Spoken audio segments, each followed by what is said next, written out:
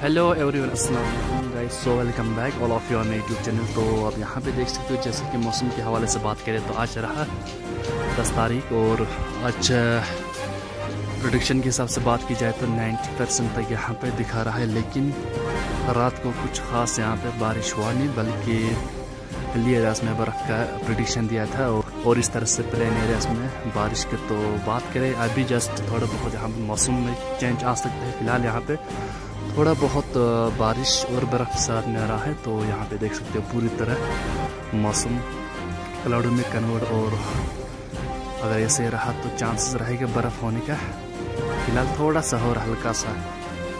इंशाल्लाह और उम्मीद यही रहेगी कि कल से फिर से मौसम ठीक होने के ज़्यादा चांसेस है। तो इस तरह के अपडेट्स जानने के लिए चैनल को सब्सक्राइब करना, ये आप देख सकते हैं यहाँ पे। और पहाड़ों में थोड़ा बहुत हल्की सी बर्फबारी हुई है।